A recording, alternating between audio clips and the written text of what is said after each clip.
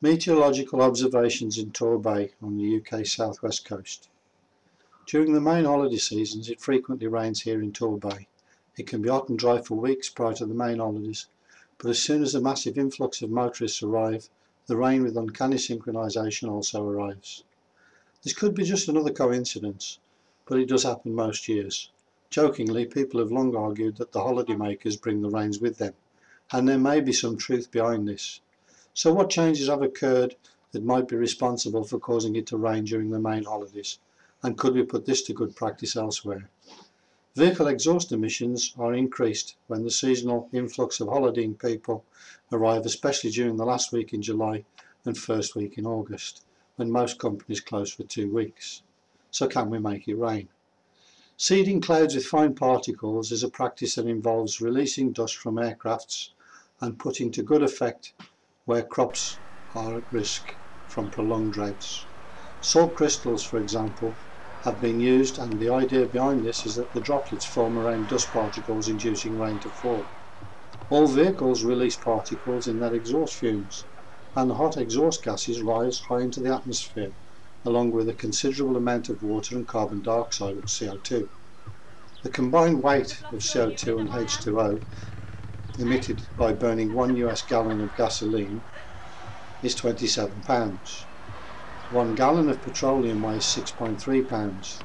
The amount of oxygen converted to H2O and CO2 by burning the gasoline is 21.7 pounds and 7 pounds of this is water.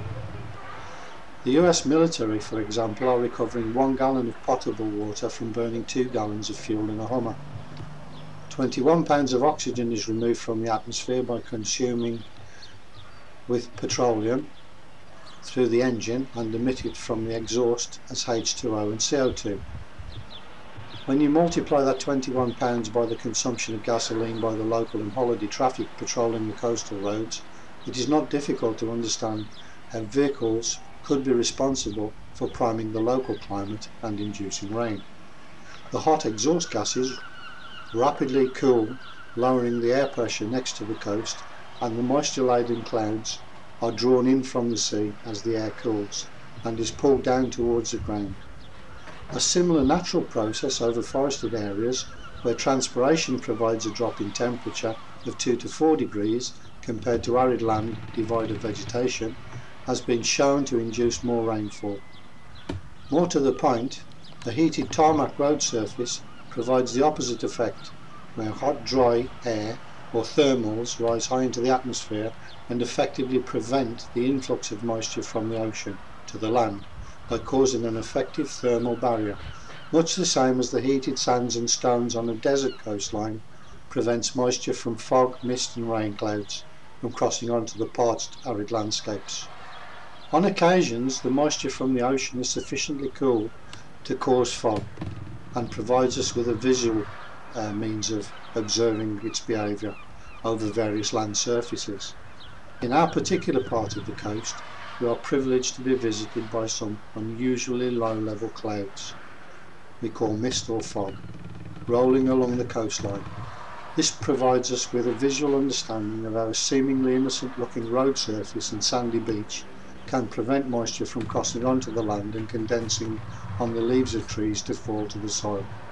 In this video, during a rare occasion where moisture is visible, we can see a bank of fog hogging the coastline and moving along the coast rather than crossing over onto the land, except for a very narrow corridor of woodland, no wider than the width of a dual carriageway in Preston, located in Torbay, Devon, UK. The moisture is prevented from crossing onto the land and cannot cross over the hot dry coastline beyond the solar heated road surface. On the ocean side of the road we can clearly see that it is shrouded in fog while the land side of the coastal road is bathed in bright sunshine and devoid of moisture during a very warm summer's day. The event has been witnessed many times and can last for many hours as the mist rolls around like a washing like washing in a tumble dryer and is channeled along the coast. Where the narrow corridor of trees meets the sea in Holcombe, the mist is observed to roll inland and hugs the wooded areas, but goes no further than above the tree line. Walking in the trees on these particular days, the temperature is several degrees below the outside um, of the trees and the air is saturated with water. The trees are dripping and the ground is moistened. When the mist finally vanishes it remains shrouding the trees and the trees are observed to milk the remaining water from the air over several more hours. Thermals rising from the hot tarmac road can be seen as you drive along it. You can see a wavy thermal paddle pattern as the heat rises. These thermals rise high into the atmosphere and form an invisible barrier against ocean-borne humidity.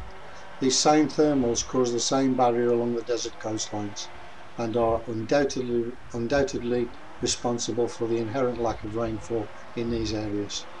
Trees transpire vast amounts of water into the atmosphere and in doing so remove the thermal barrier that prevents clouds and mist from crossing onto the land. They lower the temperature and as warm moist air rises it is cooled causing a downdraft which causes warm air to rise in, a density flow. And indeed this can be seen happening at times when dew point has been reached. The UK holiday traffic in Torbay involves a massive increase in vehicles cruising along the hot roads. The exhaust emissions contain collectively a vast amount of water vapour releasing it into the atmosphere along with the particles which rise due to the heat from the combustion. These gases quickly cool, transferring the heat into the atmosphere and fall back towards the ground, while the hot dry air rises again, generating the same flow and return system that the trees perform. This additional water from exhausts also blocks out some of the sun's energy and like the trees removes the thermal barrier so that moisture from the ocean can again cross onto the land and fall as rain. was unable to cross over onto the land.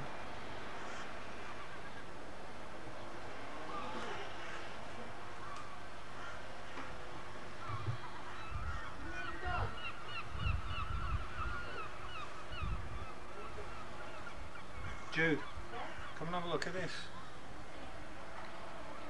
Yeah, see that bank of fog in in, that's in the path, yeah. It's stuck above the trees, look. Mm. See all the trees below it? Yeah. That's exactly what I'm saying is going to happen.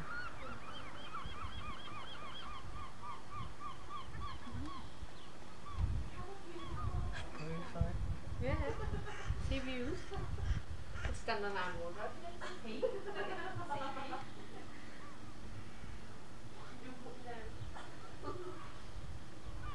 water.